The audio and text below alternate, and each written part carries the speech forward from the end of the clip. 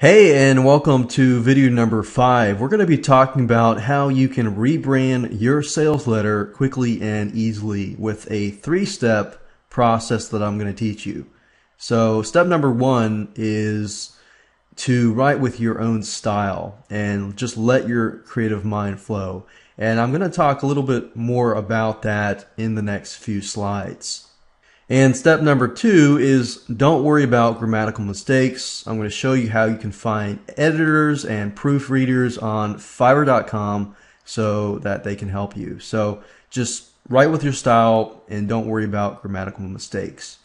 And step number three, I'm going to actually show you how to use KompoZer, which is a you know WYSIWYG HTML editor tool. Basically, in short, it allows you to edit your HTML sales letters and very, very easily. So let me move on to step number one and talk about your style. What is your style? Basically, how do your customers know you as, or how do you write? Uh, that's the question that you should be asking yourself.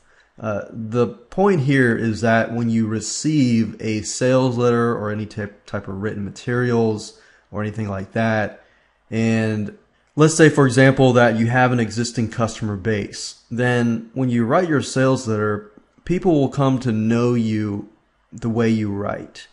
And if they notice that the way you write is very, very different, uh, then they will notice that. So, but the point here is to write with your style. Write the way you are comfortable with. You know, you want to use benefits and keywords and things like that. But write the way that you write. Don't worry about, you know, the way you should write. And what I'm trying to get here at is that don't worry about grammatical mistakes. Allow your creative mind to flow. And I know some of you are thinking, oh, I don't have any creative, you know, creativeness in my mind or anything like that. Um, but you do. Many of you do. You might be you know, left brain, left brain, right brain, and whatever. But the key here is just let your creative mind flow and rewrite that sales letter. I'm going to show you, I'm going to teach you how to do exactly that. Now, before you actually rewrite your sales letter, you want to look at some basic sales copywriting 101. And if you you're really good at rewriting sales copy, then you you probably could skip this step. However, I do want to provide as many resources as possible to make your life easy in terms of rewriting that sales letter. Now, one of the downsides of getting a private label rights product is not all the sales letters are created equal and not all the sales letters are created well. So you want to make sure that it follows, you know, the 12 steps with David Frey and if not, then I would advise you to tweak that sales letter so that you can get higher conversions. Now, obviously, I don't want you to focus way too much time on this and, you know, have, you know, just sit there and not really launch the product. I want you to focus maybe about half an hour on this and that's it and then move on. So the 12 step process here, 12 step foolproof sales letter is great because it shows you, you know, what you need to do. So 12 steps are to get attention, identify the problem, provide the solution, present your credentials if you have any. If you don't have any, you know, that's fine. Show the benefits, give social proof, make your offer, inject scarcity, and so forth. Now, I know I got a limited amount of time with this right now, but I do want to give you the resources that you know you can use. So go on his blog, look over. He actually gives you some really good tips like headline templates, how to blank, or secrets of cat training revealed. Warning: Don't even think about training your cat until you you know read this ebook or in the, this and that.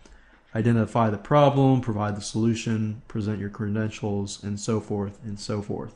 So I wanted to provide you with that first uh, before we actually begin to uh, show you, you know, how to go about rewriting the sales letter.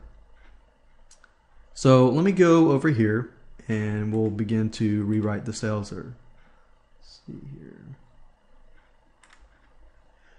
Now, some of you will receive the sales letter in, you know, HTML format, and then some of you will receive the sales letter in Word format, PDF format, whatever format it is. Um, what I normally try to do, if it is in a web-based format like this, the first thing I want to do is, of course, rewrite it. Or if I can rewrite it, you know, if it's really good already, I might tweak just parts of it.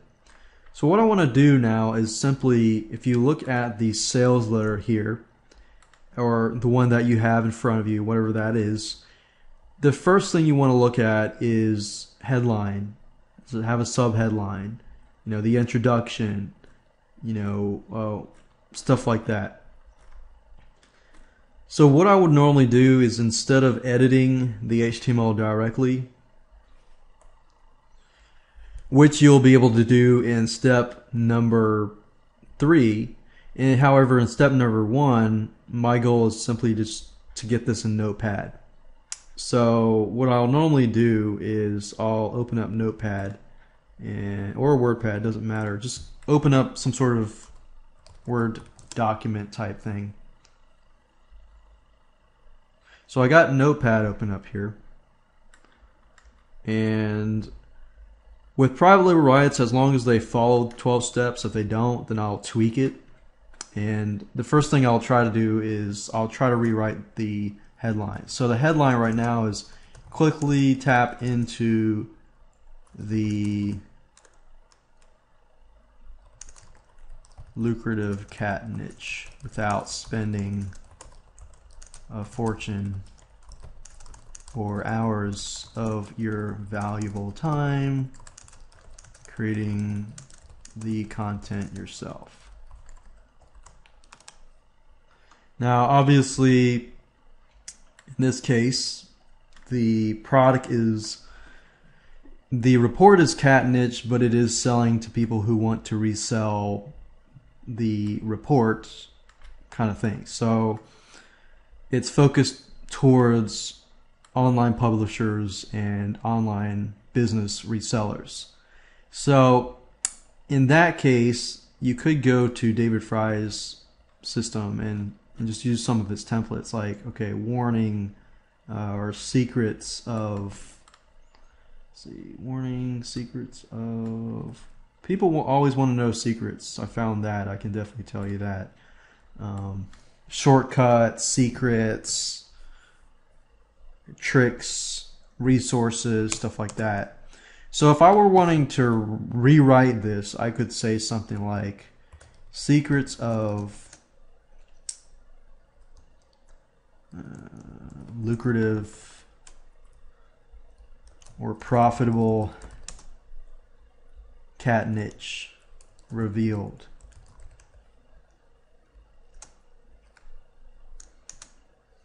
And I could also combine that with the warning Warning. Don't even think about or think of going into the cat training niche until you read this. Something like that.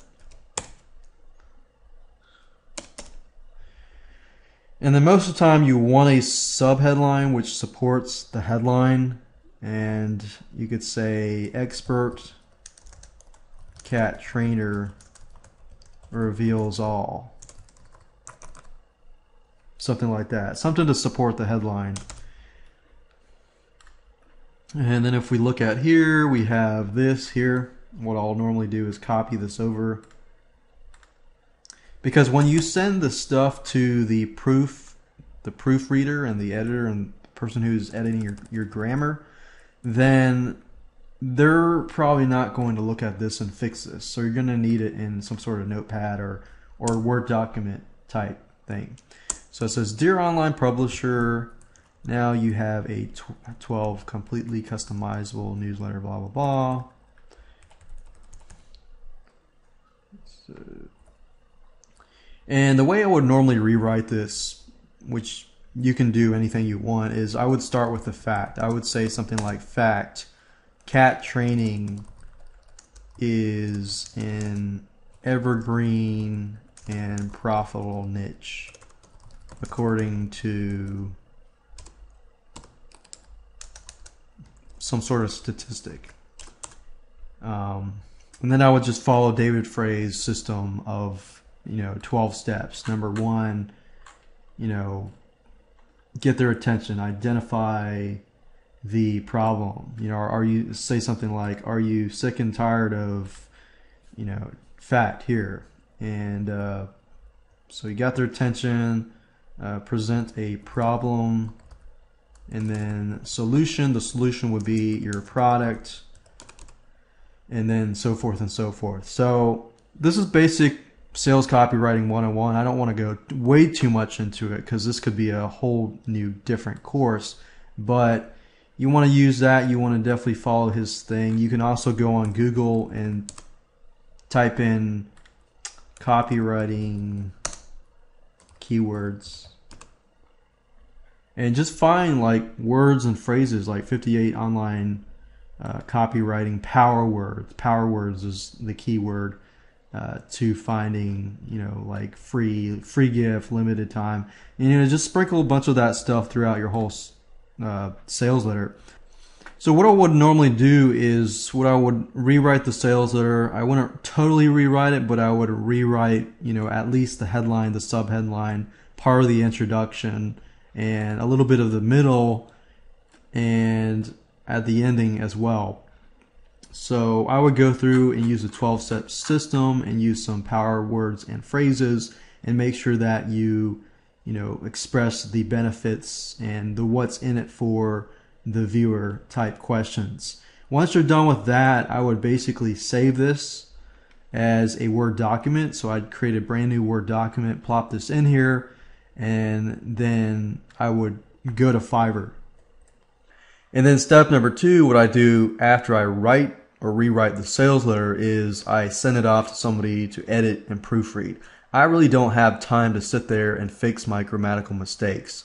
And with this process, I found that I don't run into you know writer's block. I'm able to pump out sales letters within an hour or two simply because I don't care about you know proofreading. So what I want to do now is I want to go over to fiverr.com and show you how to find proofreaders very, very quickly who can edit your sales letter just for five bucks or 10 bucks or whatever, depending on how many words you have.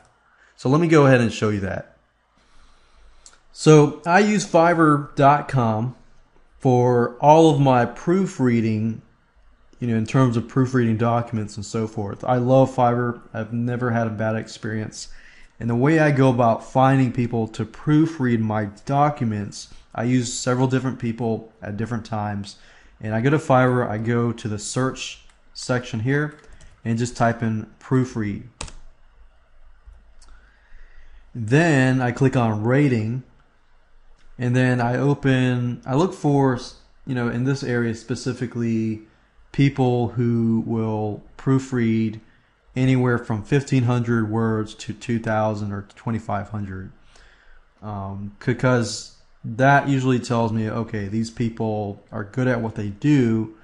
You know, they can read fairly fast and pick up stuff fairly quickly. So I'll open these up and these up, and I'll often look for people that have top rated sellers and, you know, different things like that.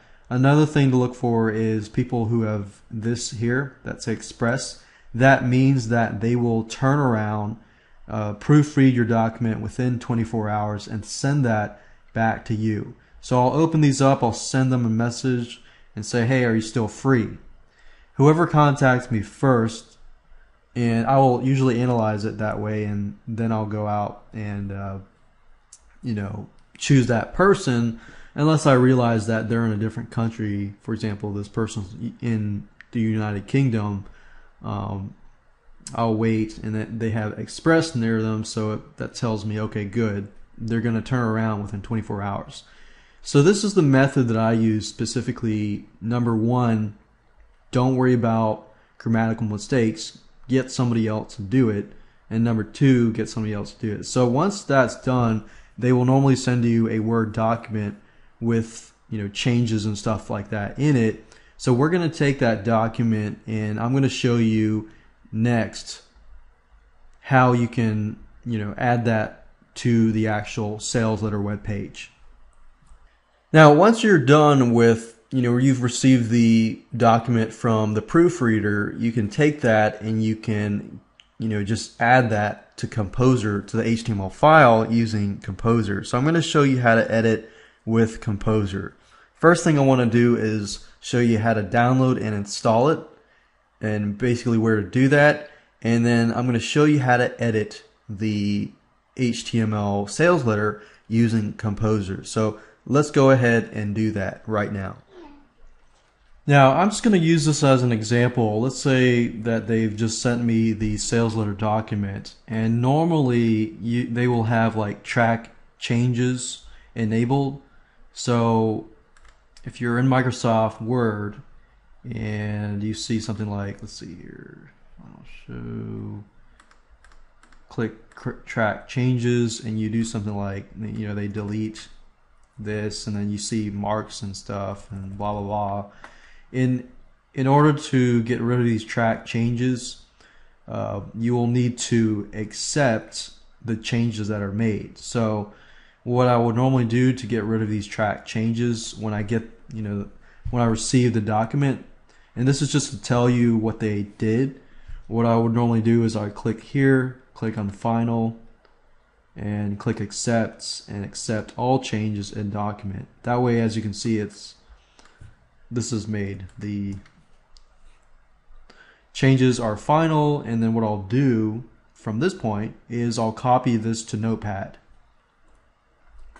And to do that, I'll just basically click Control A to select all, or of course you can go up here and select all as well. But press Control A to select all or do whatever you need to select all the, the text. And then I'll basically just copy that over to Notepad. And the reason being is when you transfer, you know, text from a Notepad to the HTML editing tool, then you get rid of all the code. But if you copy stuff from Word, you know, a Microsoft Word document to the web HTML editor, then it gets all funky and you get all these issues and stuff like that. So we'll go ahead and do that. So if I go to sales letter here, and let's say, for example, that I want to edit the sales letter, which is this file here. So what I'll normally do is I'll go to sales letter and I will open it up using a program com called KompoZer. Now I do want to show you how to download KompoZer if you go to Google and it starts with a K so it's KompoZer with a Z-E-R. So it's K-O-M-P-O-Z-E-R and you click on this so you go to KompoZer here, you click on Download for Windows. Now, if you do have a Macintosh, they do have that available. So you got to go click on Downloads here, and you'll be able to see that you can download in different languages in Windows, Macintosh, and in Linux. So just want to make that point there if you are using a Mac. So go ahead, download it, install it, and we'll begin to use it right away. So if you need to pause this video right now, do that now. So I will now assume that you have KompoZer and if you've installed it, we're going to edit this file here. So normally what I'll do is I'll open up the file just to view it first to make sure that I am editing the right file. That's the case, then I'm going to right click, click on open with, and click on KompoZer. Now if you are using a Mac, then I recommend you open KompoZer first and then find that file and open it up. So right now I'm looking at the sales page and I've noticed that the the header is the actual headline is actually part of the header. So let's say that I was going to totally revamp this and totally get rid of the header and the footer and just create a brand new e-cover. So if I do that and I just delete that, and I do decide to do that, I can do that later. Um, but what I want to do now is just focus on the sales letter itself. Now I'm going to minimize this so you can see it better because I know it's hard to see it. Alright, so I've minimized it, I've fit it in the box so you can see it. And what I'll normally do is I'll open up Notepad where I've copied my information in here and I'll simply drag and drop it over there. Now, KompoZer is so easy to use as you can see here. And let me just give you a quick run through.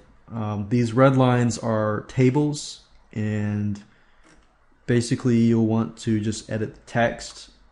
It's you if you want to create like a new headline, put new headline here. And you highlight it. You can make it bigger, you can make it smaller, you know, with these play around, you can change the font here. You can make it in the middle, format the middle. You can add bullet points. You can add number bullet points. You can change the color. Dark red usually does.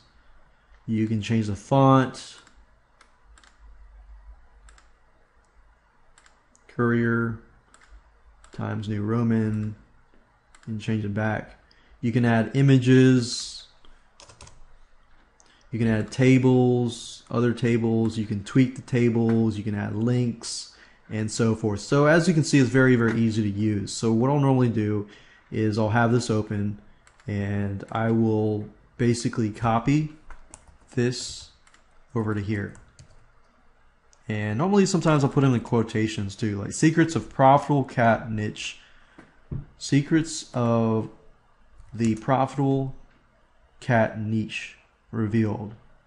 Warning for, uh, see, warning. Don't even think of going in warning to online publishers. Don't even think about going into the cat training niche until you read this.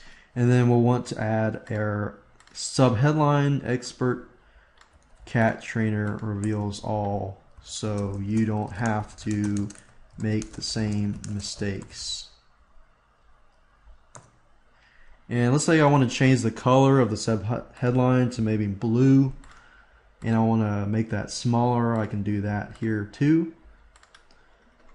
And as you can see, it's very easy. Make sure you save your files just in case something happens. From the desk, the desk of first name, we'll just say John Smith. Everybody uses John Smith. Um, but let's do that and we can change this. You know, text is very easy to change. You can see that this image is within the table. So, you know, we could delete this. We could add our own, you know, stuff. You know so really really as you can see it's very very easy to edit HTML files as long as you have the right resources and tools. And fortunately and best of all it's it's all free. So once you're done with that click on save. And if I click exit and I open this up in Google Chrome as you can see here I've gotten rid of the header and everything and I was easily able to change everything and that's how easy this is.